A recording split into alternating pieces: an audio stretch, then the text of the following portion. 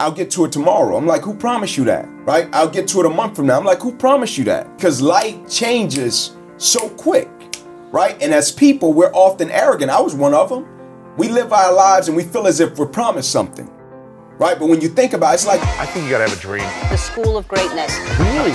yeah. Please welcome Lewis Howes. I want to bring your message to my audience. So, for those that don't know, can you share a brief story about your background from athlete to, yeah. you know, breakdown to then break through and what and what what actually you grew up believing and dreaming in, what happened, and then where you're at now. man, a kid that grew up inner city Atlanta. A mom at 16 had me, took me back to 125 Warren, two bedroom home, 14 people.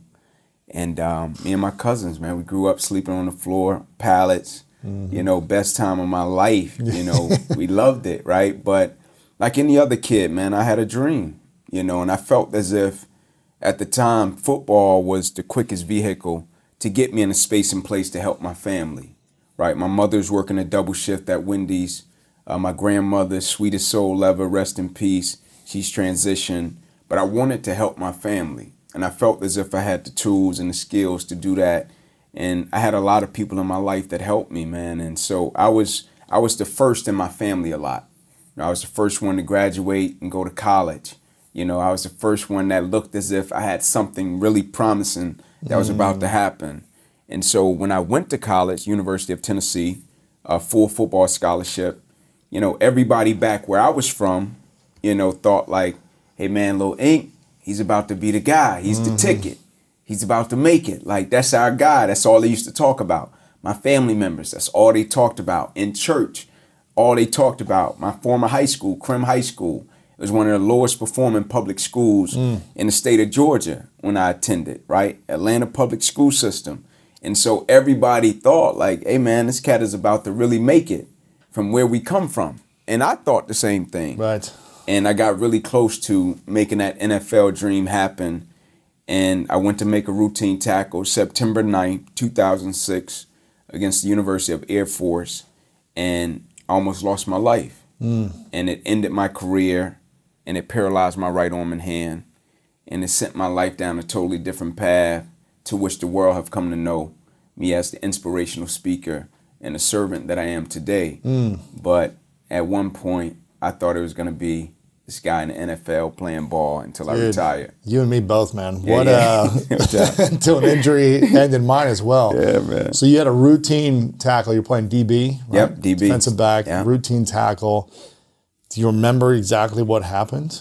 I do, man. What was it like? Enough. Was it on the left side, right side uh, of the field? Yep. Was it a run? Was it a pass play? What was this? Yeah, man, it was on the left side of the field. And it's crazy. I remember it vividly, man. We was in quarters coverage.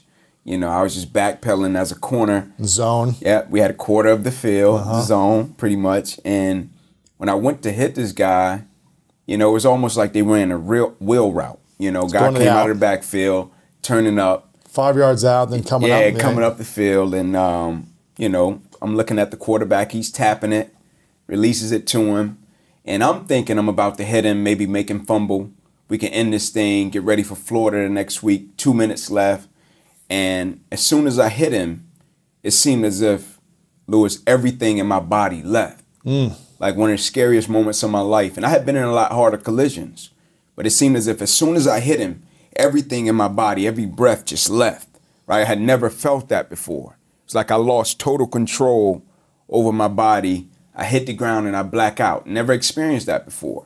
Right? And when I came to, it was very quick. When I came to, my teammates were running over, like, ink it up, let's go. And I was like, I can't. And they was like, what you mean you can't? You always get up, man. You're captain. Let's go. Nurse your injury after the game. I was like, I can't move. And it was a shock. I'll never forget. It's going from the crown of my head to the bottom of my feet. I couldn't feel anything. all, all the way through the body. Yeah, all the way through. It just kept going, kept going, kept going. And then it left, but it stayed in my right arm and hand. So left in your body where you could feel and you can move Yeah. your legs, you can move your arm, Yeah. but not the right side. Right.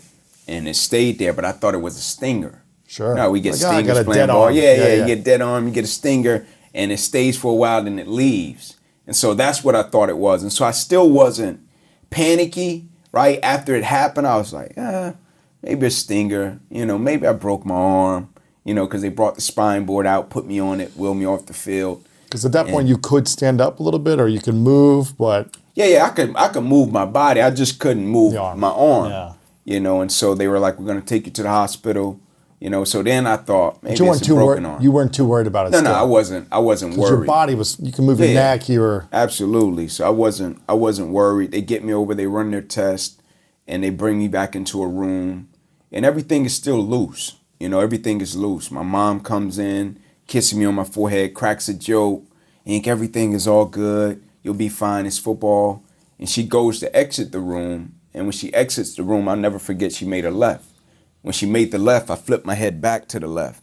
When I flipped my head back to the left, I saw the head doctor and he was running in and he was kind of, you know, screaming, you know, at an elevated tone. And he was like, guys, guys, get in here. We got to rush this kid back to emergency surgery. And he's about to die. And I was thinking, like, it Is he was talking like, about you or someone yeah, else? he's talking about me, but I was thinking, like, everything was so calm and cool. I'm thinking he's joke, like, not joking, but like, I'm thinking he's messing with me, right? Because everything had been so calm. And so I was like, like, die, die? Like, wait for me to die? He was like, yeah. I was like, what happened? And he was like, when we ran the test, we noticed you've ruptured your subclavian artery in your chest and you're bleeding internally. Oh, And he said, we got to rush you back and take the main vein out of your left leg and plug it into your chest in order to save your life. holy cow! Yeah. And he said, oh, I guarantee you, you won't be alive in the morning. You'll bleed out.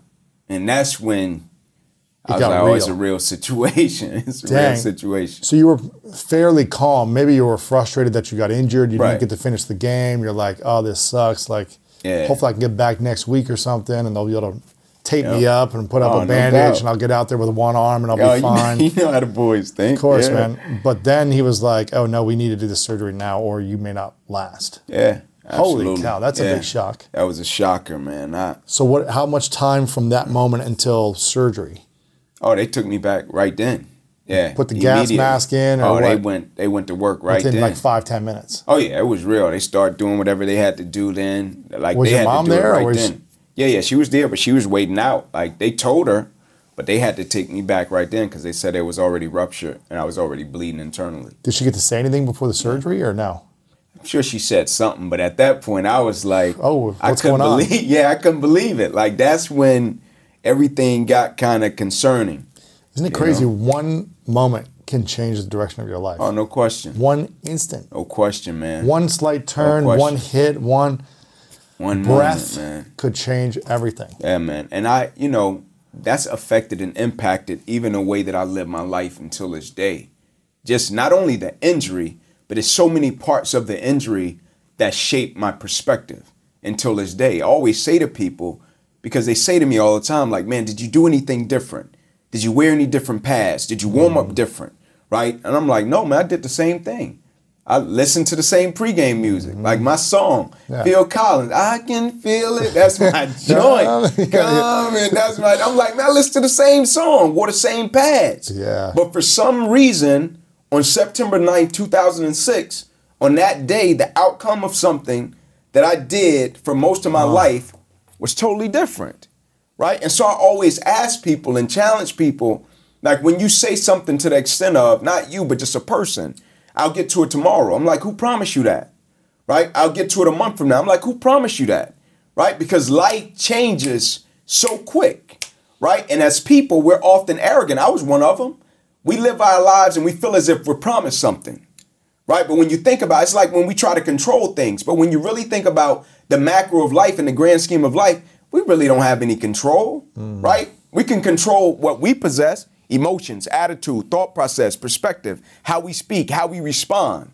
But just life in general, we have no control of that, right? You think about how many people woke up this morning thinking, like, man, everything is gonna be great. And life changed, right? Mm-hmm. One day you wake up on top of the world, next day you wake up, world is on top of you, mm. right? And so it's affected my mentality and my perspective just toward life, how I greet people, how I see people, how I interact, right? Just that one moment and one element of the injury, right? It's so many things that's happened inside of the injury that shaped and molded me as a person. People see the injury. People don't always think about the intricacies of how it shaped and molded and cultivated who I am as Mm. a man until this day. Yeah. So, how long did it take for you when you had the surgery and woke up to get to a place of peace and finding a purpose or a new identity?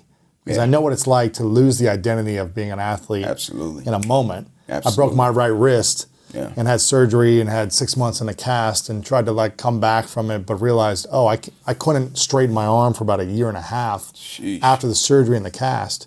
So it wasn't as devastating as you, obviously, of an injury, but the injury and the surgery took me out of the thing I loved Absolutely. and the identity.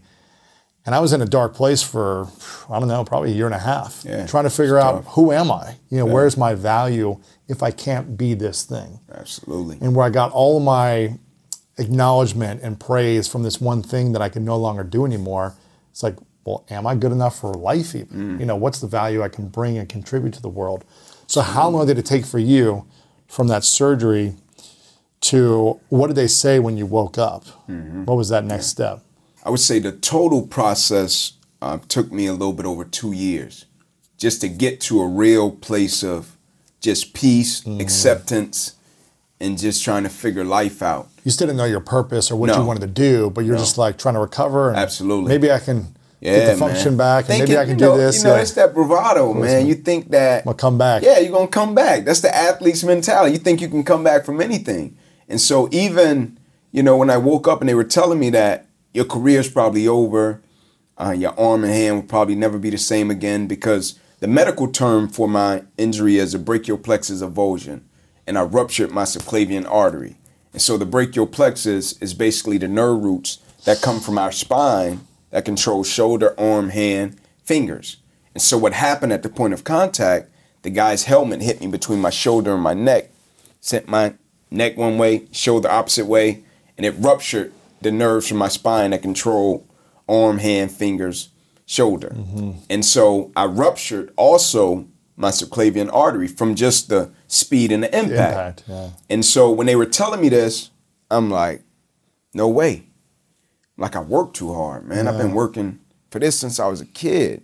And now I get to the point to where I could possibly get drafted and now I lose it all. I'm like, no, man. And so I went back to the sand pit that week, right? The next week I was in the sand pit with my teammates with a DonJoy sling and a Velcro strap with staples in my body from incisions from surgery, right? I was back in the indoor complex running. Oh, right? running? Yeah, man, with this false sense of hope that Thinking you were to come back. yeah, man, I'm gonna come back. Like I'm gonna train, I'm gonna come Jeez. back. Thinking that, like, nah, man, it can't, I can't lose it that quick.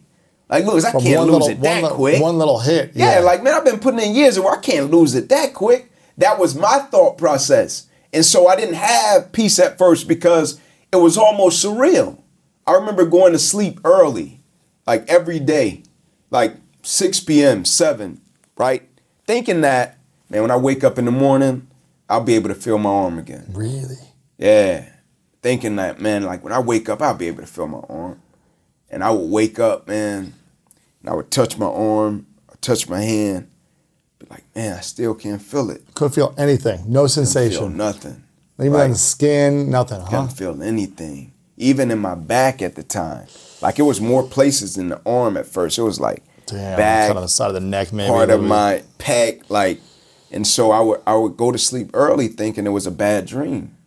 Right? I just Oh, couldn't man. I couldn't come to grips with that I could just lose it like that. Right? And so, man, I would I would wake up and touch that arm like, and every day it would be like a period to where I would be like, man, I can't feel it. But I'm gonna go to work out. Right? I'm gonna go to do the other arm, to just do the other yeah, arm, I'm gonna go to train and say I'm on the Smith machine with one arm, right? Lifting, squatting, thinking that I'll be able to make a comeback, man. And I'll never forget, I broke down on the turf in the indoor when reality set in. Like one day it set in and I I cried, man. I was in the indoor facility. I was on the turf and I was like, man, I probably never get to play again. Like, really. Mm. And that day was it was tough on one end of the spectrum because it was like, man, the reality of I probably won't be able to play again. But on the opposite end of the spectrum, it's weird. It was a level of freedom, right? That, okay, man, release it. Like get it out. Stop holding on to it. Yeah, stop holding on to it. Just get it out, man. And so it was it was an interesting situation when that happened, right? Like on one end of I was crying, I was hurt, but on the opposite end of it, it was a level of freedom. Like, okay, man, now it's time to turn the page and let's move Really? forward. Yeah. Yeah. So how, how much longer was that? Was it like a couple weeks, a month after? Now that was when when I came to that that reality, that was closing in on the two years. Two Yeah. years later, when you weren't because moving look, but- because two years was the time frame that they gave me too. That Wow. if something Within is to years. happen, if something is to come back, After you that, got the like a two dead. year, Yeah, yeah, yeah. You got like two years. You know, if something is gonna happen, and so I'm in this two year window thinking Holding on like, hope, man. oh man, I'm like, man, within two, I'm gonna get stronger. I'm gonna get sharper. My IQ is gonna increase. It was all this thought process of just I'm gonna just come back this machine, right? But also realizing I'm going through the two years and I'm going to doctor's visits. And now, when I think back on it, I can see it. I see when I go into doctor's visits at the Mayo Clinic in Rochester, Minnesota, and they would have a new device and they would try it and think, man, this is the one, Ink. I remember seeing a doctor cry one day, right? Cry. Cry, man, No, because it didn't work.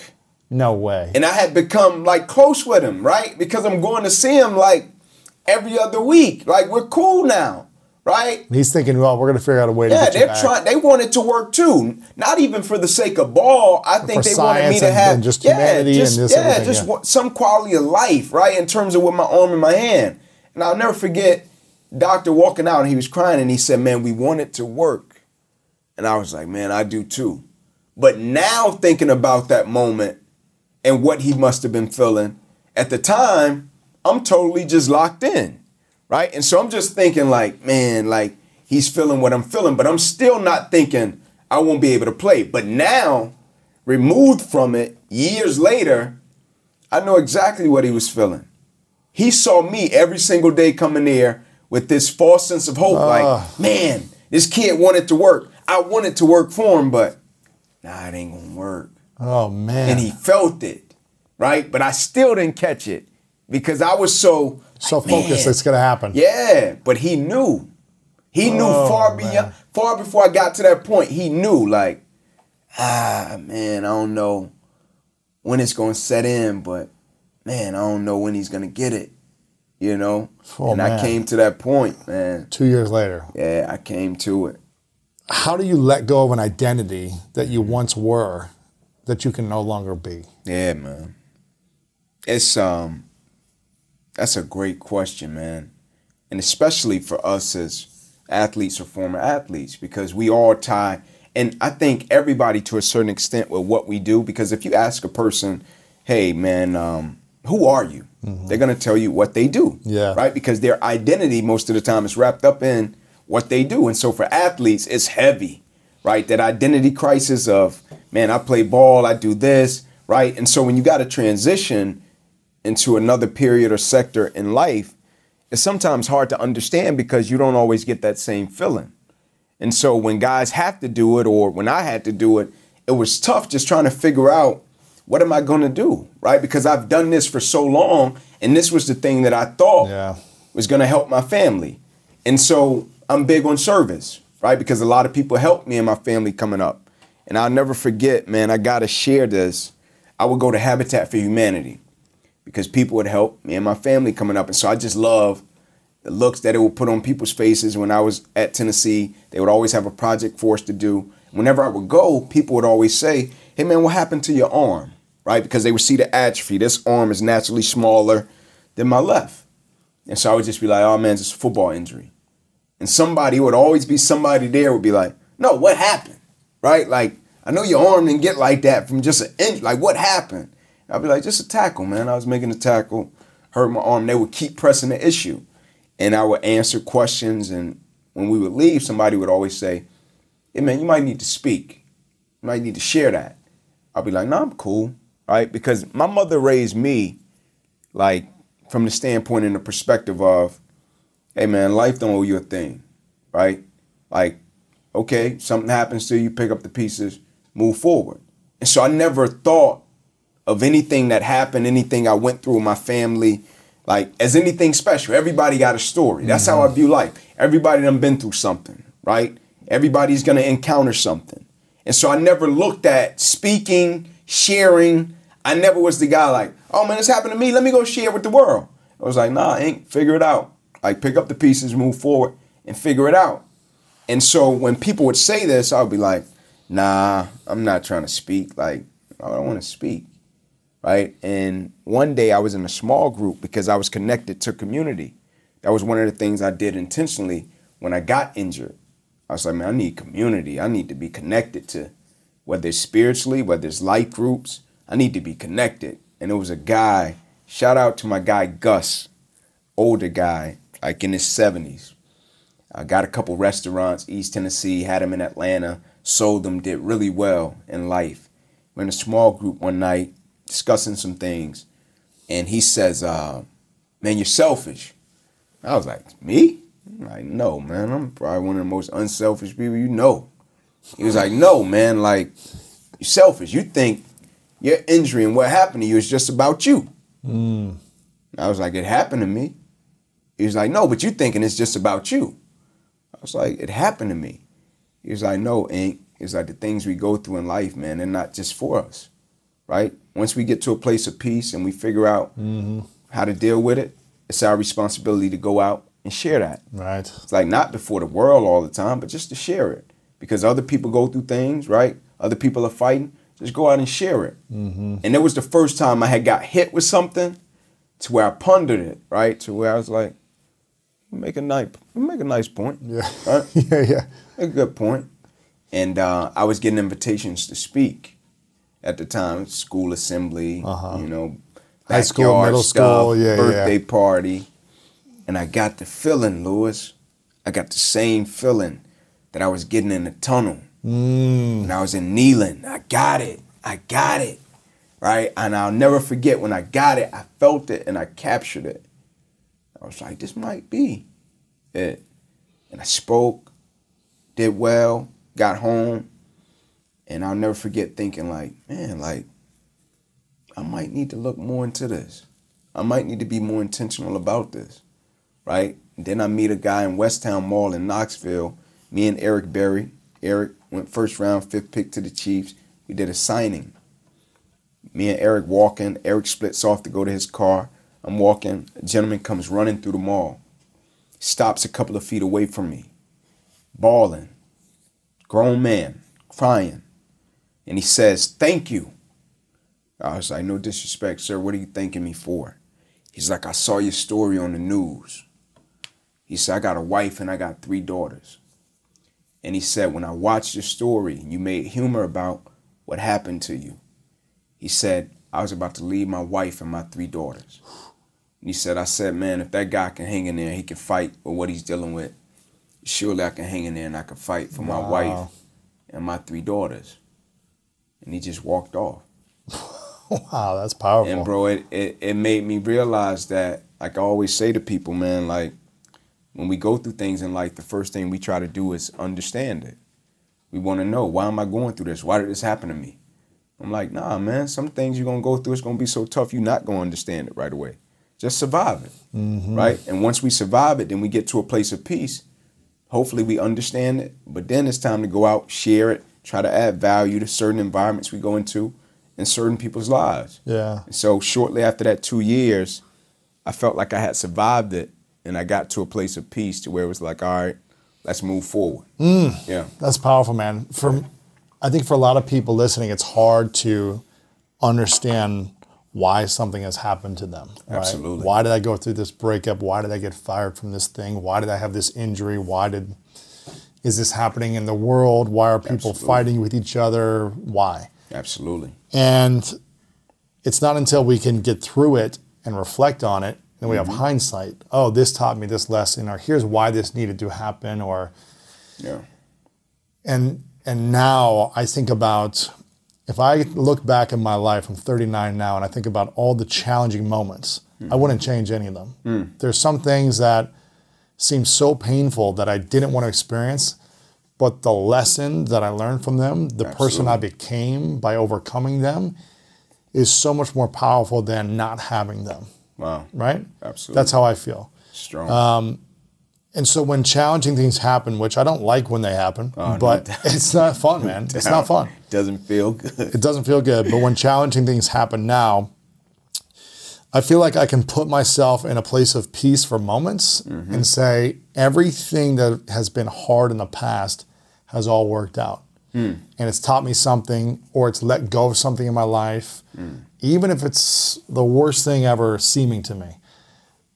And I'm grateful for them all. So let me look into the future and have hindsight in the future and start realizing I don't know why this is going to be powerful, but I'm going to give this meaning. It's hmm. going to help me or help someone else in the future because I'm learning this lesson. That's good. And that has given me peace in the chaos. Yeah, man. Doesn't mean I like the chaos. Oh, no I'm not doubt, looking no for it. I don't want it. Stay No away doubt, from me. no but I feel like that that strategy has given me a sense of like, okay, this eventually will pass, and Yeah. hopefully I'll have some tools and knowledge based on that. That's good, man. Do you wish? Uh, do you ever think about it and wish you would have tackled differently, or do you are you grateful with everything that's happened the way it's happened? You know, to be honest, man, um, somebody comes up to me almost every week and say to me, like, be honest, man, you said you wouldn't change what happened to you. Like, be honest. Like, you, you said you wouldn't change what happened to you. Why? Right? Because for most people, when they look at adversity and opposition, if a person goes through something that's traumatic, right, trauma, whatever the case may be, the average person's perspective is going to go to a space and place. What did you lose? How did it affect you? What did you have to sacrifice? What did you have to give up? People very rarely will ask the question, man, what did you learn from it? Mm, what did you gain? What did you gain? Ooh. Right? How did it make you a better person? I know it didn't feel good. That's obvious. I know it hurt, right? I know you didn't like it. It wasn't convenient. But like, what did you gain from it? I just mm-hmm. want to know, right? From the loss, from the pain, right? And so for me, it was such a traumatic experience to where I was searching for the good. It was so traumatic. There is no good. Right? Yeah, yeah. It was so traumatic to where I'm like, all right, God, like, what's like, what is this, man? This hurts. Like, I don't like this. Like, why did this show up at this point in time? I remember being like, God, just let me make it to the NFL, get the contract, Give me a few help my years. Yeah, family, yeah. and then like we can go through something like just let me help my mom, help my grandma, help my cousins. Like I, when I was a kid, man, I remember saying to my cousins, like if I make it to the league, man, we can get our own beds one day, right? We just wanted our own beds, right? Mm-hmm. Right? And so when it happened, I remember seeing certain things happen that it caught my attention, right? But I was so in the midst of what had happened to me that it just caught my attention. I think the beautiful thing about adversity and opposition, when you live with it, it teaches you, right? If you're open to it, right? When you live with challenges, it teaches you. And so the reason that I wouldn't change what happened to me or go back and even change the incident is because of not only the man that has shaped and molded me into, but the way it's impacted those close to me, right? My mother and my father, their relationship was fractured majority of my life. Yes. Like I'm talking about, Were they living together or no? no, Yeah. no, like never, right? And How so many, they couldn't many, even. How many kids does your mom have? My mom just got me and my sister. Yeah. Yeah, and so my dad, he's married and he has two daughters as well. But when they had me, they were teenagers, right? And so my dad's trying to figure it out. Yeah. Mom is trying young, They, right? don't, they don't have tools. They don't, No, have, no. they don't know how to connect with each other or Just communicate or none of that. deal with conflict. None it's of just, that, man. act None like a child, essentially. Absolutely. That's it. Act like a child, have a child. Yeah. And so it created a lot of hurt, a lot of resentment on both ends. And so for me, when I started growing up, I had a level of resentment toward my father Mm-hmm. that I very rarely spoke about. And so I would speak to him and we would be cordial when we got to the point of communication. But for a long time, I resented him. And so my mother and my father could very rarely be in a room and it be peace. Right. Very rarely. When my injury happened, they had to be in a room. It had to be peace because it was a much bigger issue at hand. They didn't know if they were going to have to amputate my. They didn't know any of that, right? But fast forward a bit, what's happened not only in my life but in my family's life, it's been phenomenal. Like my mother and my father can be in the same space and place, in the same room, mm. wonderful grandparents. My father came and lived with me for 30 days after my injury under the same roof. helped take me to rehab for my arm, Wow. take me to class, wash my clothes, like what it did for our relationship, what it did for my family's relationships, what it did for me and my buddies, my friends, right? Guys tying my shoes, our connection, what that produced. Like it was phenomenal, right? The way it shaped and molded my perspective in my life and how I treat people, mm-hmm. right? Not that I was a bad person before because I wasn't. It's just the way that it shaped and molded my perspective and how I view this thing called life every single day, Right. right? Because of what you just spoke about. When you go through something, I asked the guy this, Lewis, I was in St. Louis speaking, pandemic, one of my live trips during the pandemic. And I said, Can somebody tell me something good that's happened as a result of the pandemic? Lady stands up. She says, uh, My mother lives in Japan. I get to speak to her every single day. I know if I was working the same schedule, I never would have got the opportunity to have those moments. Gentleman stands up in the back of the room. My man looked like he's supposed to have been in the movie 300. Traps up to his ears, to my yoked up, Lewis, right? Starts bawling. And he says, I'm thankful I got to watch my first child being born. Crying. Mm-hmm. He said, I knew for a fact if I was working the same schedule, I never would have got the opportunity to witness that moment. He said, What's something you're thankful for, Ink? I said, Man, I'm thankful for 3 p.m. He said, Why 3 p.m.? I said, Man, I get to race cats and be the first one in the carpool line. Right? He was like, The carpool line, really? I was like, Yeah, the carpool line. I was like, But not the carpool line. He was like, What you mean by that? I said, The carpool line is extremely important. I get to pick my kids up from school most days. Phenomenal. Love it, right? I said, but more than that, it's about can I condition my mindset and my perspective that when uncertainty happens, opposition happens, adversity happens, I can put my mind, my perspective in a space and place to extract some good, right? And so with adversity and opposition with my arm, I got a paralyzed right arm and hand. My perspective, my drive, my dedication, my commitment, my essence, my ethos, the thing that makes me ink, it never got paralyzed. Mm-hmm. That was just my identity in sport. Yes. That's what people knew me by in sport. But who I am as a man, that never got paralyzed, right? I'm extremely grateful for that. My right arm and hand gets paralyzed. I get to do- go to disability services and learn how to write with my left arm and hand. Like I get to try different things, right? I get to go up to the Mayo Clinic and my first visit there, I sit down and I come out of a room to where they had just shot four needles in my back, full of dye. I'm talking about biggest needles I've ever seen in my life. Eesh. I sit down, I'm feeling sorry for myself. A little kid had to be 10 years old. Sits down, I don't know what the condition was. A mother sits down on one side of her, father sits down on the opposite side of her, and it's like they're holding skin up on her face. And I was like, man, I just got a arm and a hand. But I got put in those environments and I got to see that. Mm-hmm. Extremely thankful and grateful. Most people don't get to see things like that on a daily basis. Right. That conditions the mindset and the perspective to look for good in the midst of adversity, opposition, or uncertainty. I tell people all the time, man, the easiest thing in the world to do is to be negative. So easy. Easiest thing in the world to do is complain. Easiest thing in the world to do is to quit. That's easy. Me and you both can walk out of this building and see something on the streets of LA and say, man, that's whack, and complain about it. Mm-hmm. Or we can look at it and say, you know what, man, that's really unfortunate. But if they did this, if they can change this about it, I think that can be a beautiful situation. Yeah. That's a gift and that's a talent that not everybody has. And it's it's extremely underrated. Mm. Extremely underrated. Yeah. But it's extremely powerful when used in the right manner. How did you learn to have the positive perspective in the pain and in the trauma? Like, was there someone helping you get out of that, or did you just flip the switch into that mindset? Yeah. I would um I would say part of how I grew up, um, when you grow up in that two bedroom house with 14 people, you don't have a lot of choices in terms of what you're gonna eat, you know, how much of it can you get. Like I remember watching my mother count change in a uh, old Buick Regal, man. Never forget this. And she was counting up change. She had a few dollars in there. And she was trying to get me a pair of cleats. Never forget it. Shaped and molded my perspective at practice, how I practice.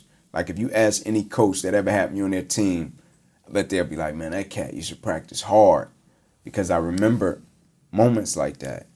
I remembered as a kid, my uncles would stand on the corner all night, engaging in their illegal activity, come in the house, take the clothes off that they were on the corner in all night, wearing 2X t shirt, put it on me. I'm 135 pounds, and I wear it to school the next morning. I remember me and my cousins coming and they're saying, hey man, y'all just make sure y'all got a lot of t shirts from the corner store and y'all just change out the jeans, right? And so I might wear it one day, my other cousin will wear it the next day, other cousin We'll just be shifting, Wow. you know, spinning it around, right? It shaped my perspective. It made me extremely grateful. Hmm.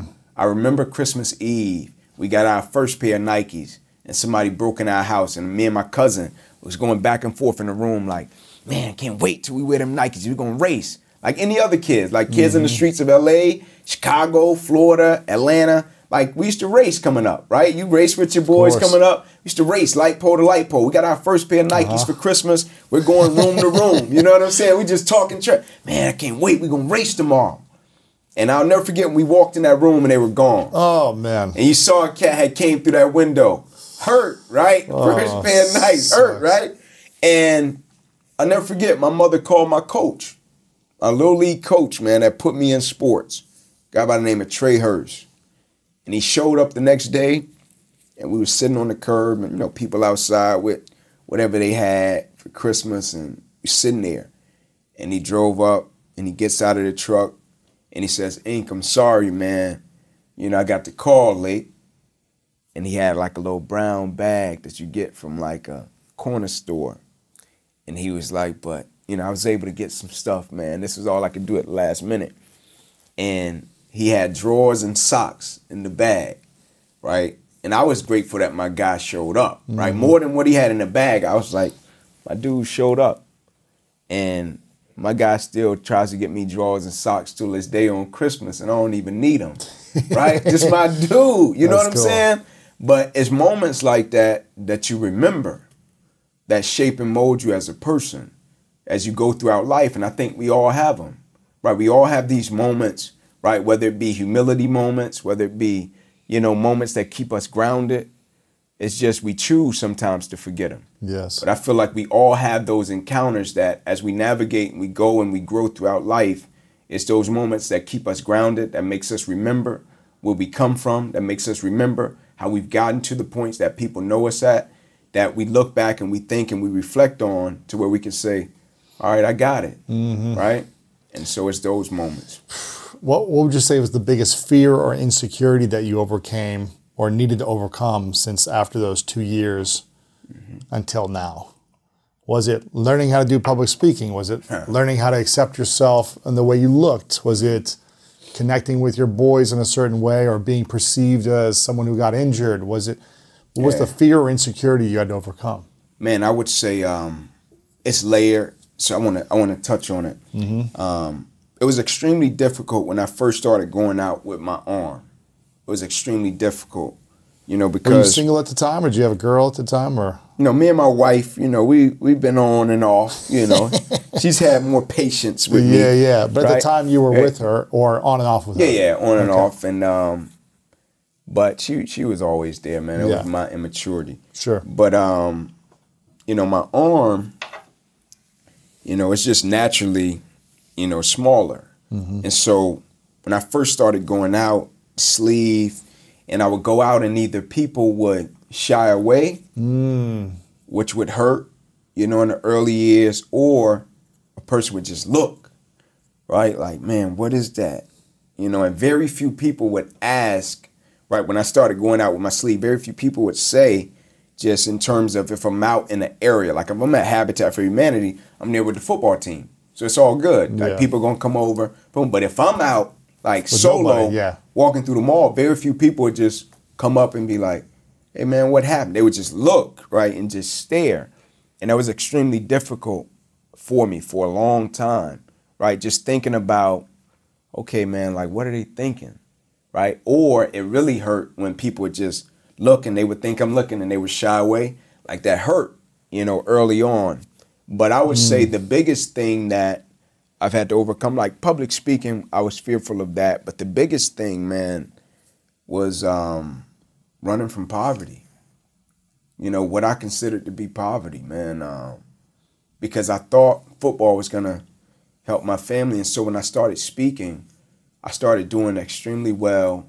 You know, I have been for a while with speaking, to where I would just go and I was just trying to accept gigs, gigs, gigs. Make as much as you oh, could. Oh, I was just running, right? Just trying to speak because I grew up a certain way, and I was like, man, I don't want You don't my go back family, yeah, to have to grow up the way I grew up, my kids, or go back to that environment. And I loved every element of it, right? I love the encounters with the people. I love the impact that it gives you. I was just running from my past. And I'll never forget, I was in a small group and a gentleman was walking around in a circle and he was like, What's something that, you know, you guys feel like in your childhood you're still dealing with or you're running from? And, you know, everybody would raise their hand and say something. And he got to me and I was like, Poverty. And he was like, Are you in poverty? I was like, no. He was like, well, stop running, right? and, and in its simplicity, it was yet profound, but it was simple, right? And I thought mm. about it when I got to my room, and I'll never forget, Lewis, I got a gig, and it was one of the biggest gigs I had gotten to date, and they were about to pay me more money How old I'd ever then? gotten. How old are you? I was 36 now. I was probably 30. Okay, six years ago. Yeah, They're about to pay your 30. biggest check ever. Yeah, biggest check ever. And I was stoked. And the challenge was it fell on my wife's birthday, right? And so I'm like, man. And so you know, you start working it out in your mind.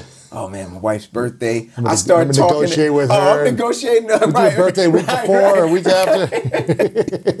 right, I'm working it out. I'm like, yeah, yeah, yeah. So when I bring it to her, I already done worked it out. Hey, babe, this gig, you know, like I can send you and grandma to the spa.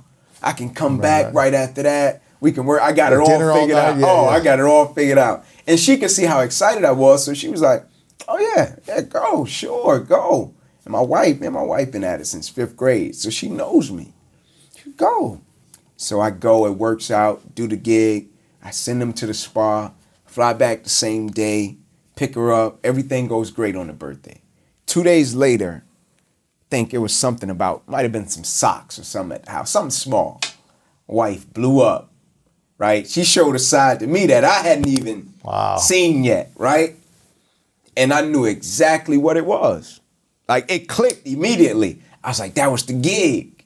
I was like, she's blowing up, not because she's blowing up about the gig. She felt as if I value the opportunity, the engagement, and the money over her and her birthday. Mm-hmm. That was the damage, right? Over the kids, over the family, over that moment, right? And so what I had to do was realize that, man, you got renewable and you got non-renewable moments in life, mm. right? Renewable, you can always make some more money, right? Non-renewable, my wife will never get another 30th birthday.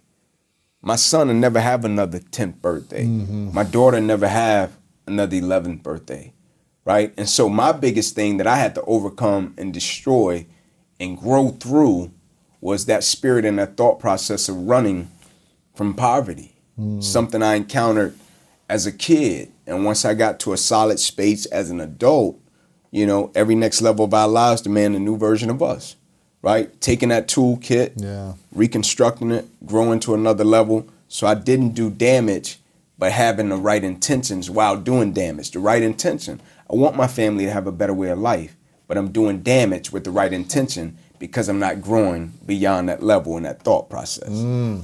Yeah. So how do you negotiate? What if you got a hundred thousand dollar gig on her birthday? Yeah, yeah, yeah. I used to say, nah, Right, sorry, right, sorry, right. Nike, nah, I can't come and She speak might the be like, day. nah, we good. Go, go, right? We good. yeah. Yeah, but man, just trying to communicate, you know, that's a skill that Yes. I don't think as men we always get or cultivate, you know. So, but yeah, it worked out. Why do you think so many people hold on to their tragedies or traumas Mm-hmm. so intently in their present from something that happened two, five, 10, 20 years ago? Why do you think people hold on to it so long?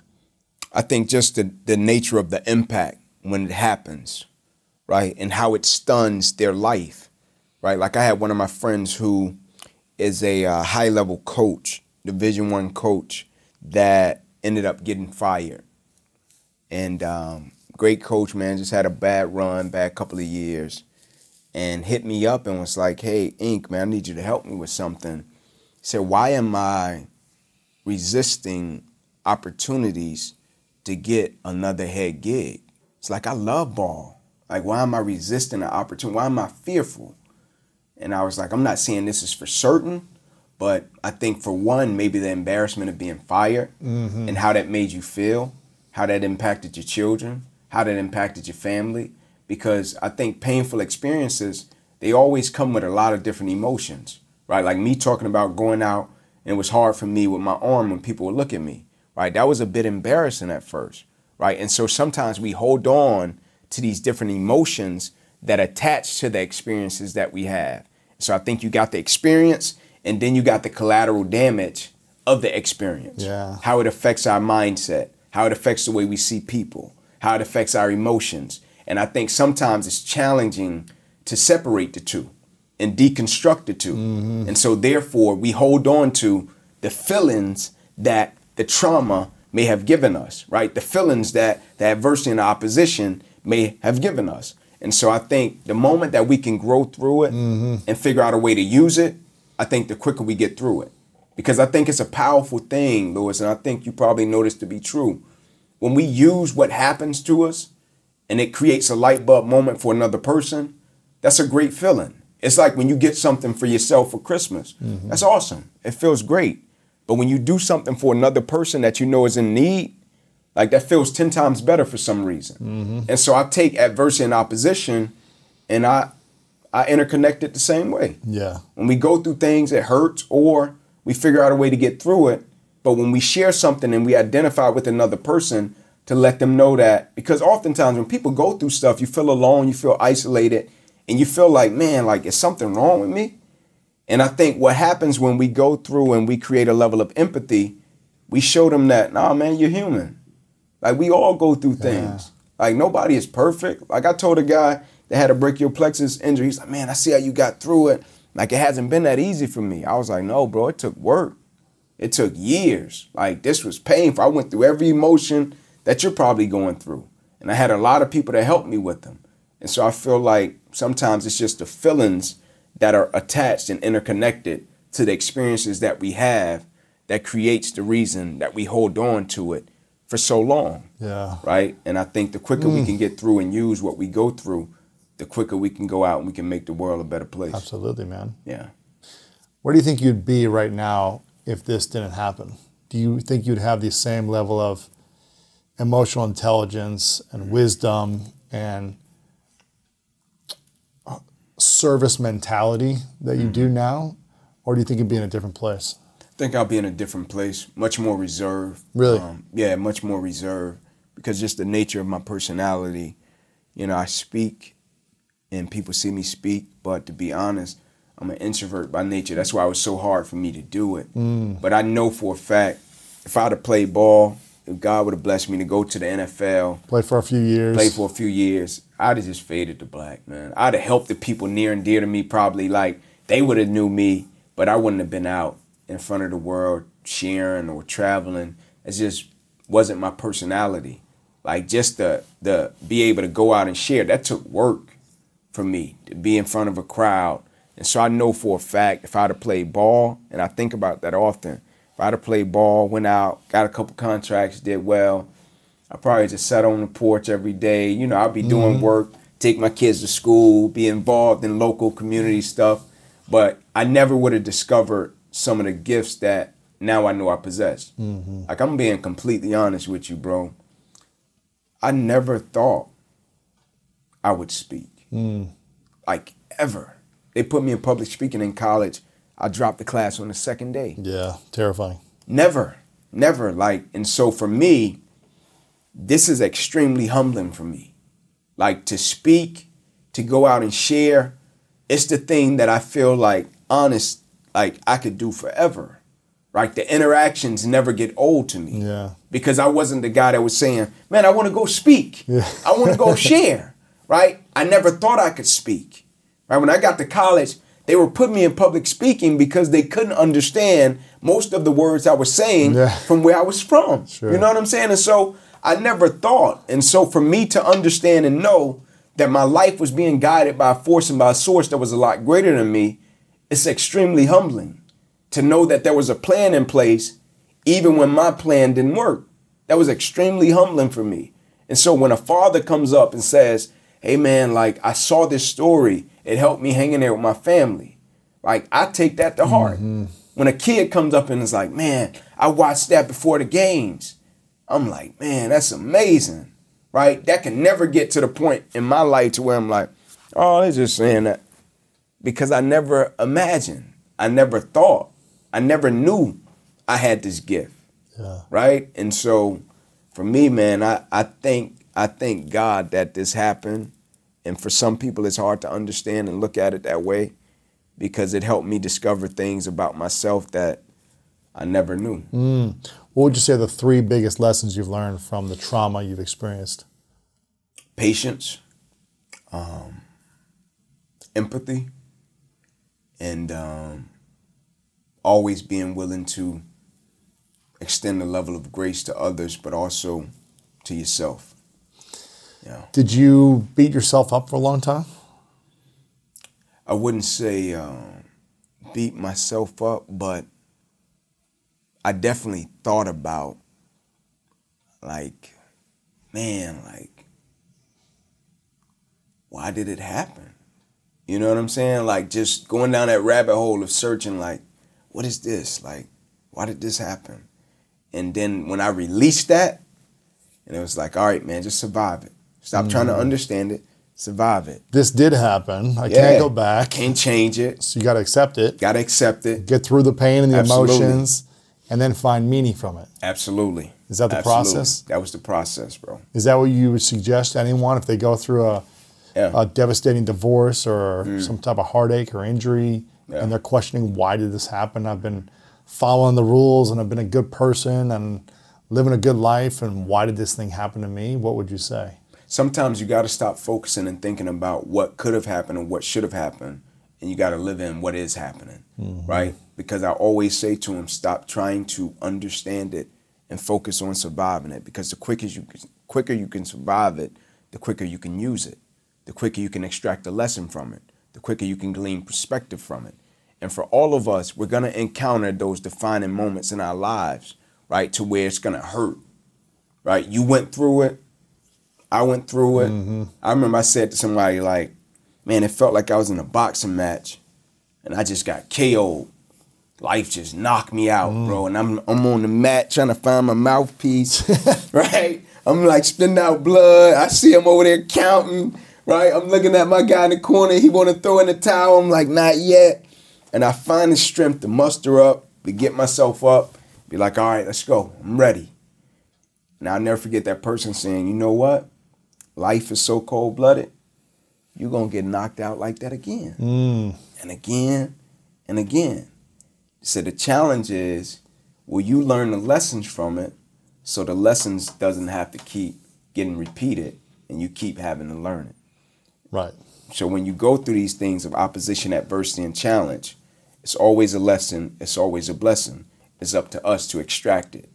And if we're so concerned with trying to understand why, why, why, we're gonna miss the lesson, right? We're gonna miss the blessing, and the lesson is gonna keep repeating itself. I know that from Right. repeating uh, certain relationships over and over again. We all we all got got things like that, man. It's like what I like. I got two kids. I always try to teach them like one one of our big things is attitude drives performance, right? Attitude drives performance. I say to them all the time, when you get negative and you get frustrated, what does it do to your performance? Like it goes bad. It just gets bigger and bigger, negative and negative. I'm like, exactly. And so when it doesn't turn out the way you want it to turn out and you get negative, the lesson is just going to repeat itself until you graduate, mm-hmm. right? Until you learn how to set up, celebrate the pain. Celebrate. My son, sometimes he'll come out, go five for five, right? Might get two home runs, right? Other times you'll come out, go 0 for 5, right? When you go 0 for 5, are you going to start huffing and puffing and then you got to get the lesson repeated again? Or are you going to learn at a certain point to say, all right, man, it's baseball. It happens. Mm-hmm. So what? Clap it up, cheer on your teammate, and say, you know what? Today I'm not getting it done on the offensive side. Defense, I got you. Right? Sometimes I'm not getting it done on this side. I got you. Mm-hmm. And so that's the key to life. I think sometimes when things don't go our way, the quote says it. You judge the true character and caliber of a person not by where they stand in times of comfort and convenience. You judge the true character and caliber of a person by where they stand in times of challenge and controversy, right? It's an incredible thing, and character can be cultivated in the midst of opposition and adversity. That's the reason it says it. It's King's quote. It doesn't say you judge character by how a person responds when everything is going good. Mm-hmm. They know how you're gonna respond. Right. Happy Celebrate, go lucky. happy, yeah. Celebrate. Hand clap. Great. Hip hip hooray. But when things go wrong, mm. things don't go the way you want them to. They don't unfold the way you want them to. Who are you? Because that's the true test of who you are as a person. That's your true character. That's the essence and the ethos of who you are as a person. Everybody is going to smile when the sun's shining, man. But the song says it. Can you stand the rain, baby? Like it mm-hmm. says it. Yeah. And so in light, can you stand the rain? That's the true test of character. Love the uh, love remember the, the Titans. Oh, that's one of my favorite movies. Man, I think I was in college when that came out, That's one of my favorite movies. and we all man. watched the you know we all watched it the night before a game. and Oh, that, that's the joint. That's one of my favorite movies. attitude, reflect, leadership, captain. Mm. You know, that's where it's at. How real is that though? That's real, man. It's true, man. That's real. And you know the crazy thing, uh, Lewis, like attitude is a small thing that we often underestimate, Mm. but we really can control that. Absolutely, dude. I there's when I bring someone on our team. We've got 20 people on our team now. Nice. And when I bring people on, obviously we look for skill set and experience and all these different things. Make sure they have certain skills. But I tell people over and over again, they're probably sick of me saying it, that the things I care about the most is your attitude, your energy, and your effort. Because we can teach you a lot of the things that you need to know. We can get you a consultant we can hire. We can get you a course. We can get you whatever to learn the skill better. Absolutely. Right? We can get coached up on a skill. It's hard to get coached up on attitude, energy, energy and effort. It's got to come from within. You've got to make a decision and a choice. I'm going to have a positive attitude. I'm going to have a uh, attitude of gratitude or appreciation or whatever it might be in this moment, even when it's not going my way. Absolutely. Even when I'm going, you know, things are going off in my life or I just feel sluggish, can I shift my attitude? Can I have a different energy? And can I give effort? Yeah. You know, you you appreciate the guy who maybe isn't that skilled on basketball or football, but he's always diving for the ball. Absolutely. You're just That's like, the man. Man, he's doing what I, That's I wish. I was doing this. You know, he's That's the making me look bad That's the man. the hustler that's just like Yeah. he doesn't have the, the the height or the speed or the strength, but he's willing to hustle and fight, right? Mm, That's and I think it's the attitude, the energy, and the effort you put into your relationship, your your career, your your health, Yeah. which will dictate the quality of your life in a big way. But if we have negative attitude, negative energy, and negative effort, Mm. you can't expect great things to happen to you. Absolutely. Absolutely. So That's good. attitude is everything. I don't I think I don't think it's a small thing. I, I think it is the thing. Absolutely. That's good. And uh, That's good. I think um, That's good. what did Lombardi say? His quote: uh, "If you're not fired up with enthusiasm, you'll be fired with enthusiasm." Yeah, I that's think that's the strong. quote. That's strong. Right? It's like if you're not, strong. if you I don't have an that. Mm. attitude of enthusiasm in what you're doing, even when it's painful, Yeah. try to be enthusiastic, and you'll make it a more enjoyable experience. That's strong. You know, That's strong. I those three that, days. I don't know if you ever did three a days, but we did those. I think it might have stopped when you were Yeah, yeah. in we high just school. was at two. Just two yeah, days. yeah. We was at two. because a couple kids like died in high school. At Sheesh. it was like my senior year, 2001. A couple kids in the country died of like heat exhaustion. Mm. Man. So we used to do three a days, and then they cut it back to two because of that. And um, but I remember thinking like, and we had like a military coach in high school, Yeah. And it was like no water break. It was like you just push through. You're just doing burpees for hours. You know, it's everything. yeah. You'd fumble the ball, and everyone's running a mile, whatever it is, and then back in there. And it was painful, man. But I just remember thinking, this is only going to last two hours, Hmm. you know, or three hours. Yeah. Can I get through this, Hmm. you know, and try to have a positive attitude in this time frame? Man, I, I Then I can ask rest, something. you I know? want to ask you something. Just listening to you. Do you do you think mental toughness is a skill?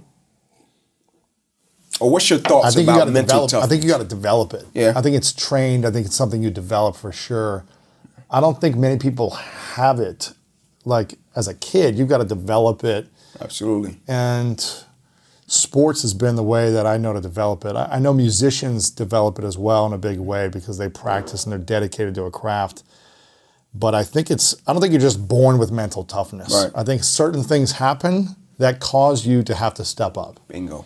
Right? There's some type of adversity or you're you know don't have the connection with your parents the way you wanted or you're picked on and bullied and you have to endure. Bingo. You either endure or you just fall behind. Bingo. And I think that enduring energy, uh, coupled with the emotions behind it, keep you going. You know, so I was driven mostly to prove people wrong as a kid because I was picked on, right? Yeah. And I was going through some some stress at home, and so I was just trying to prove everyone wrong in my life, and I was willing to do whatever it took to prove the people who made fun of me wrong. Yeah. And so I, I developed mental toughness in a negative sense, mm-hmm.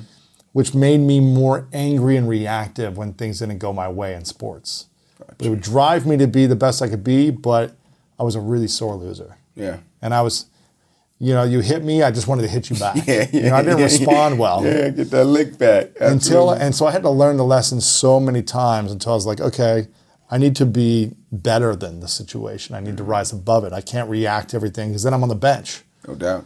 So you get on the bench enough, you get kicked out of the game enough, you're like, oh, I can't play. Done. Yeah. So I had to learn how to manage the emotions at some extent. yeah. But that was a that was a challenging thing, man. But when we want something bad enough, I think you're willing to be mentally tough. Absolutely, you have to be. Absolutely. But if you don't want it bad enough, then you're, eh, I don't care about it. You don't have Don't a, a value it. meaning attached to the thing you want. And I was so committed to accomplishments to get accepted and to be praised by others because I wasn't accepted and praised by others. And every and I would go years, a decade to accomplish my goal in sports. And when I would accomplish all these big goals, I didn't I wasn't happy still. Yeah. It didn't It's because I was trying to get acceptance from others, but I didn't accept myself. Mm. So it wasn't until I shifted it when I said, I'm doing this because I want to be in service of others through my art, my expression, my inspiration. And I'm doing it because I purely love what I'm creating, what I'm doing, and I accept myself. Then I started to actually enjoy the process. That's good. It wasn't about winning, it was about the process. That's Good. That's good. And and I think it's hard for us to truly love what we do until we fully accept who we are. yeah. It's really hard. Yeah. That's good. It's hard to love what we do until we fully accept who we are. That's strong. I think so, man. That's strong. We can enjoy the things we're doing, but if we don't accept who we are, then we're doing it from a place of lack. We're mm. doing it from a place of unwholeness. Mm. If we don't accept who we are, then we're not whole. Yeah. And so we're giving it an energy that is not a true, pure love. Absolutely. It's like I'm doing something I enjoy, but for what reason? To make myself whole, mm. to like prove to others, to impress other people. Yeah. But we should just be doing it from a whole centered place. Yeah. Yeah. That's good. That's my good. thought. I love that, man. I love that. What do you think is the the I love that. what is the biggest struggle you're facing with now? Is it you know your parent you're you're a father of two kids. Yeah. They're about to be teenagers. It's about to be a whole new world. yeah. You know you've been doing your speaking career for 15 years now, essentially. Mm-hmm. You know 12 to 15 years. Yeah. What is the biggest challenge you face today? the biggest challenge um, I face now, you know, and I, I really don't look at it like you know how it is as as athletes. We thrive off challenges, mm-hmm. right? Like we thrive off of it. But you know, I would say, man, fatherhood has really pulled the element and the side out of me that you know has really served me well, right? Because How? we're blessed with two beautiful kids, eleven year old daughter, ten year old son, totally different in terms of how they view life, how they approach life, and how they do things.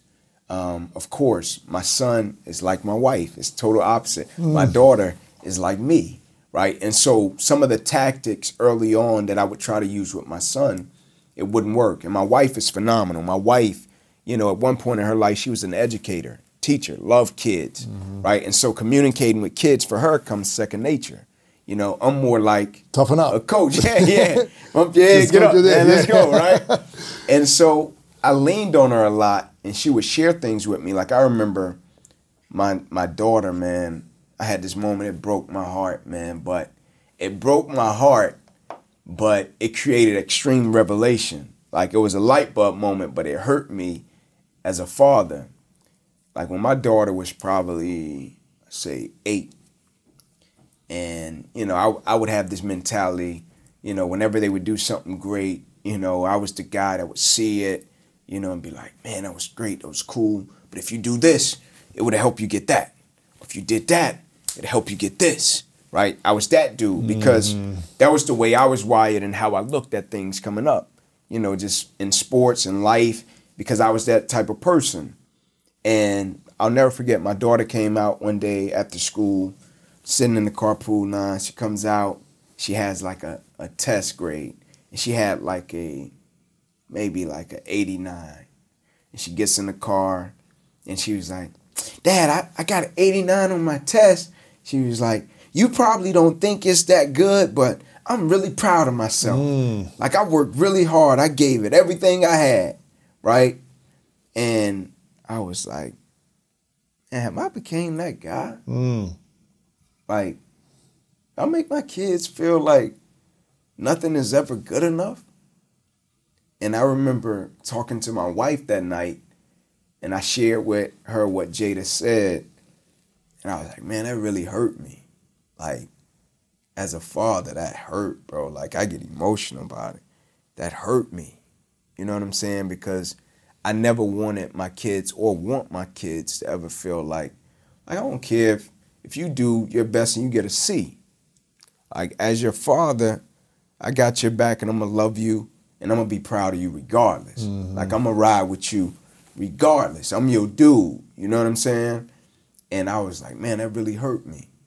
That I made her feel that way that she had to say, like, Dad, you might not think this is much, but I'm really proud of myself, right? And my wife said something to me, and she said, um, you know, sometimes, Ink, we can be so focused on who a person can become that we forget to acknowledge who they are and where they are. She's like, sometimes we just got to acknowledge who they are and where they are. Mm-hmm.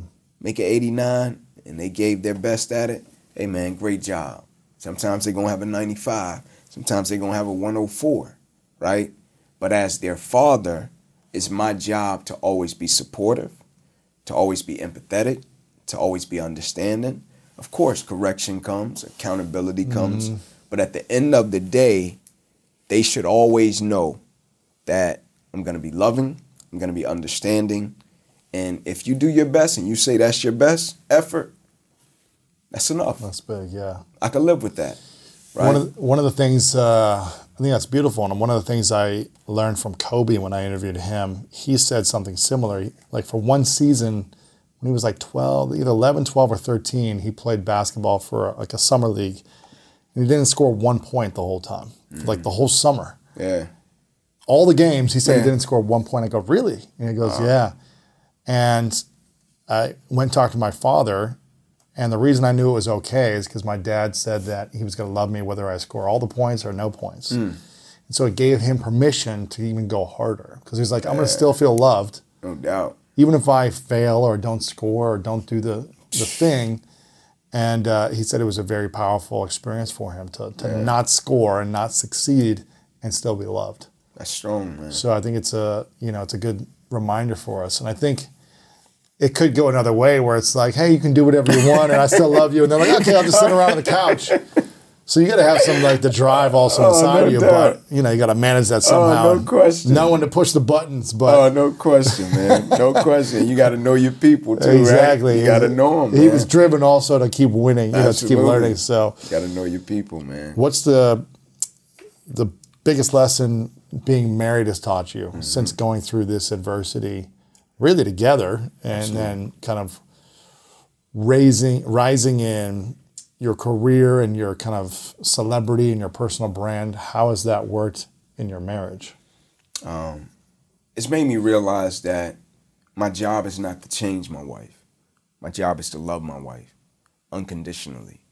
You know, because we all involve ourselves, whether it be relationships in terms of personal marriage or relationships in terms of people, friends, you know, compadres, whatever the case may be. Like when I was early in my marriage, you know, me and my wife, I'm sure I did things that got on her nerves, right? I would be speaking in the mirror when I'm trying to learn how to speak, right? Doing certain things. And she did certain things that I was like, man, like, I'm not feeling that, right? And so I had a cousin, right? He got married young. It was, I'm talking about young. I'm talking about right when he graduated high school. This joke was married. Had been married for years. Wow. Right? And so I called him one day and I'm complaining to him, right? And he been married for a while. I'm complaining, man, yeah, she does this, then she does this, and I'm really not feeling that. He listened, and he was like, um, you know, you do stuff that get on her nerves too, right? Right, right. I was like, yeah, yeah, but man, this bothers. He was like, man, listen. He's like, your job is not to change your wife. Your job is to love your wife for who she is. Like she got delivered to you. Like your job is to love her, right? And there was a period in my life because of certain things that I may didn't agree with, and there were certain things she didn't agree with with me that I thought I was supposed to present them to her, and she was supposed to change them. Because for most of us, when it comes to love, I feel like we love the version of people that suits us, mm-hmm. right? We love the version of them that suits us. We don't always love them unconditionally, like who they are unapologetically, who they're not. We don't always love people like that. We love the version of them that suits us and makes us feel well about ourselves. And so for me, in terms of my growth in my marriage, like I love my wife, right? Because she not only holds me accountable, right, but she she makes me better. And we've been rocking since fifth grade. And so if though nobody else on the planet Earth knows me, she knows me, right? She knows when I'm not feeling something. She knows when my energy is off. She knows when I'm having a tough time. She could just sense it. And so for me, it's been my growth and my challenge in terms of just trying to be a better man because I look at it mm-hmm. like this. Lewis, if I get toward the latter years of my life, man, and I journal, like I journal to my wife, I journal to both of my kids, and I journal to myself. I got four journals that I write in every single day, right? That I haven't presented to them yet Wow. right? But I just write in them every single day to where I, I write down That's why cool. I make decisions, choices, why I do certain things. And the reason I do that is because, you know, when my time comes, right, and God forbid something happens, whatever happens, and you know how people come up to people, right? Kids, spouse, whatever the case may be. They say, man, let me tell you about your father. Mm. Or let me tell you about your husband, right? And you know, I would like to think that my kids and my wife, they're gonna listen, right? Because of the type of people they are. But I also want them to have something that they can refer back to, like a life guide. Mm. They can say, man, I know exactly who my dad is. I live with him every single day, but also he left me this, right? Mm-hmm. That explains our values, our morals, our principles, why he did certain things, why he lived by certain things, mm. right? Why he made me do certain things, right? Because if I get toward the latter years of my life and, you know, somebody comes up to him and say, man, he was a great athlete, that could be cool. And that's all they talk about, I fail as a man, as a father, as a person. And so I want my wife and my children to always know, like, nah, that's a real dude. That's our mm. guy. That's not a public success, but behind closed doors, he's a private failure. Nah, that's our guy. Like he is who he is. And so I work just as hard at being a husband and a father than I do mm. at anything else in my life. That's beautiful to hear, man. My dad just passed in February a few months ago, Yeah, and thanks, man. And it was it was kind of a sad thing because he had a uh, a brain injury. He got in a car accident 17 years ago, so he was in a coma for three months after his accident. Wow. Then he woke up, and he was never the same. You know, he had this brain trauma. A car hit him on top of the forehead through his car and he just he had to learn how to read how to write how to talk again how to do it function as a human. So it was like he was a five-year-old again almost in an adult body. And so emotionally i wasn't able to connect with him the same way. Eventually he was able to communicate and you could have normal conversations but certain things were off where you know he would forget a lot. He you know so it was the same conversation every time i saw him. It was kind of like hey where'd you go to play you played football in college right? And, and he came to every game right so he's asking where'd you go to school again and so we could communicate but it wasn't all functional So for 17 years, I didn't get to have that relationship with him, right? Mm. He was there, but it wasn't the same. Yeah. But he wrote letters that I still have today from Wow. from when I was 15. Wow. And I kept those letters and I get to see the way he thought, the way he loved, the way he learns.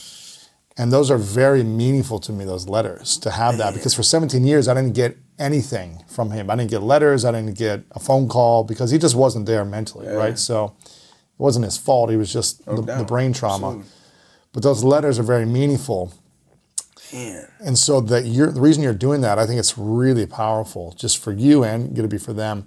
Another thing, we had his funeral here in February, and all of his old friends came out who I hadn't seen in a long time, mm-hmm.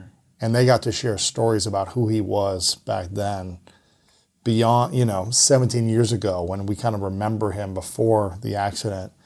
And it was beautiful that they came out and said, "This is the man your father really was." Wow. and here's how he showed up for me. Wow. And this is the type of character he had in the community.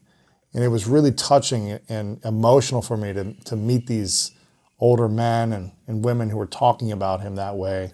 That's Because for 17 years it was so hard because it was kind of like we lost the man he once was. Mm-hmm. But those memories didn't die with them. The impact didn't die. The connection didn't die. Hmm.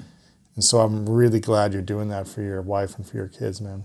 man, that's the first time I've heard somebody say that they've had something like that. Yeah. That's strong, man. Yeah, it was strong. It was man. beautiful. It made it really meaningful during a time that I couldn't find meaning within 17 years. Wow. It was like, why did this accident happen without when I felt like I needed him the most? Mm. You know what I mean? When I, I got injured in my injury and, and stopped playing right after his injury, and I didn't have him to lean on anymore. So it became this like challenge. But to hear those stories and to have those letters was a beautiful part of the journey for me. So I'm glad you're doing that, man. man. That's strong. I'm really glad you're doing that. If you could only, let's hypothetical. This isn't going to happen, but say a hypothetical scenario. You you don't get to give those journals to them, mm-hmm.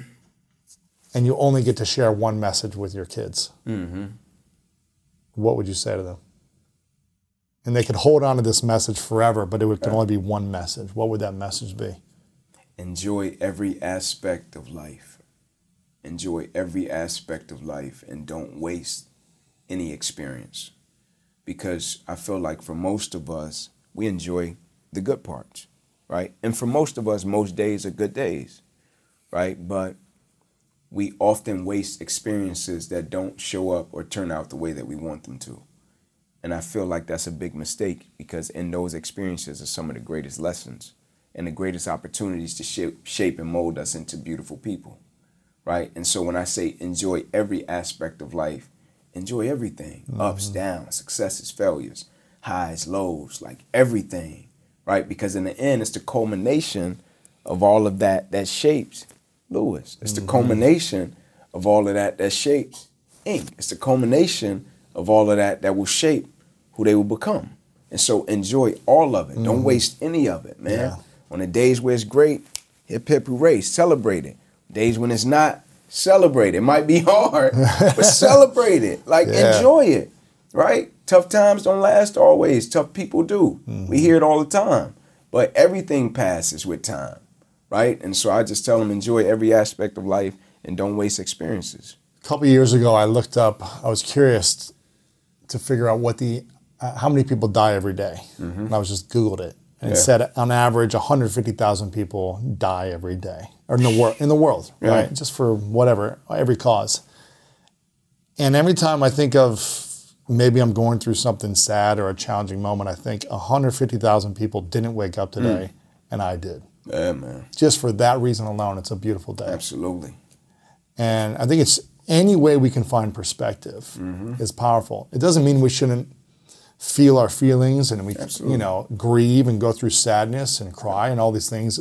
Don't stuff these feelings, but I think it's you don't want to stay in those feelings forever because they hold us back from service, from being there for our loved ones, our friends, our family, our team, our community, and our creator. And it's like, man. what can we do with the, the tools and the skills that our creator has given us to be of service to the next person? Absolutely. Whether it's hundreds of people, millions of people, or one person. Absolutely. Focusing on that, like you said, is the greatest gift when we give it to someone else, not when we buy something for ourselves. Yeah, man. And use that with your tools and your, your story as well.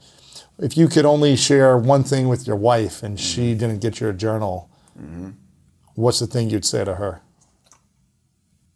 I think I would say to my wife, uh, this is funny, man, because this past this past uh, anniversary, our anniversary was in April, and she had to be. How many years?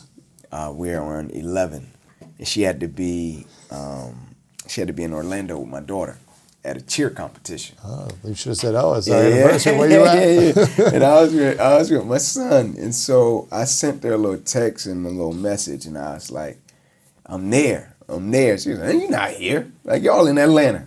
So I was like, "No, I'm there. I'm always there. Like no matter where you go, I'm gonna always be there. Right? A piece of me will always be with you, and a piece of you will always be with me. Right? Because of who we are." And how we've grown throughout life. We've been together since we were kids. Like talking 10 years old Crazy. like been at it for a long time. And so the one thing that um, my wife lost both of her parents when she was young, like elementary school, she lost both of them. So she was raised by a grandmother, and I always felt like my wife was a gift to me, right? Because when my wife, you know, even when we was young, I felt like God delivered my wife to me, like as mm-hmm. a gift That's beautiful. right? Her spirit, right? What she had been through in life, the hurt she had endured.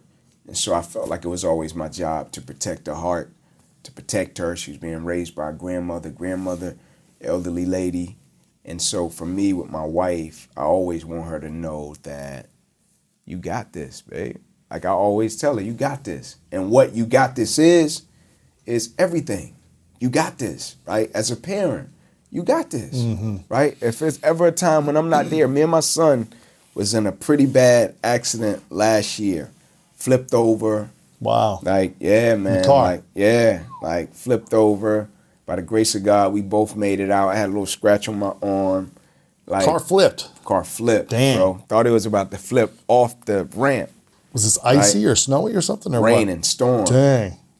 And we both made it out. And That's I'll never scary. forget. Yeah, it was scary, man. And uh, we got out of the car and we get in the car with my wife, and the whole car was just crying, but she was like pouring, like, man, I almost lost y'all, right?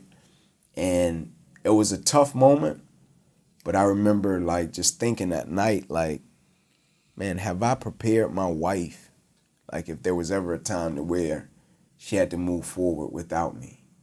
And so for me, my message to her is always, babe, you got this, right? It's preparation. You got it, right? And so for me, that would be my message mm. to my girl. Like, if there's ever a time when I'm not present, and Lord forbid something happens to me, you got this. Mm. You know what I'm saying? Yeah. It's like that word we hear when we're young from a coach or a parent, that belief that injects belief in us, right? Like, hey, Lewis, man, you got this. When you're young, you try to figure it out and you remember it, right? Or hey, hey, man, you got this, man. I'm telling you, you know, I'm a smaller guy. Yeah. Right? And you remember those things, man. It's the simple things in life that people don't think always makes a big difference. That when a person gets a loan or a person really needs something, like that they can rely on to get through adversity, opposition, or just a rough patch. Mm-hmm. You remember things like that. You remember them letters your father wrote. Absolutely, man. You know, like you remembered that, and so just sometimes simple words of, "Hey, man, you got it." Mm-hmm. Yeah. You know. Remember the Titans. yeah, man. I want to, I got a couple final questions for you, but I want people to follow you. InkyJohnson.com. Yes, sir. Inky Johnson on uh, social media. Mm-hmm. Inky Johnson Motivate on Instagram as well, as well. Is that where you spend the most time, Instagram? Yeah, yeah. I be on IG and uh, Twitter, man. You know, every day I jump on Twitter and IG, but yeah. Nice. Absolutely. We'll, we'll make sure to follow you over there. And if anyone listening or watching wants an incredible speaker at one of your events, Oh my God. then make sure to to inkyjohnson.com and and uh, and, and send you an email and My guy. see if see if he's available. He's an Yeah, in-demand man. guy. You know, you never know when he's available. So make sure you schedule it a year in advance. Get the discount for next year, but pay That's in right. advance now. You know what I School mean? of greatness. That's you it. know what I'm saying? That's right. That's it, man. Um, anything else we can do to support you Man, besides um, following you online and Yeah. checking out your stuff. Yeah, um, you know, and I don't say this in like a cheesy way, but like, you know, we always look at the world, all of us, right? And when something happens, right? Like you see the mass shootings that happen or whatever the case may be, and we all see things that happen in the world, man, and our heart hurts, you know what I'm saying? Whether you see and we can't control it, you know what I'm saying? Things happen sometimes it's just out of our control. And you always think about like, man, what can I do? Is there something I can do? And just go out, man, and just be a good person, man. Like it don't cost nothing to go out and offer a kind word to a person every day. It don't cost nothing to go do a random act of kindness. It don't cost nothing to go out and just share a word of encouragement to somebody.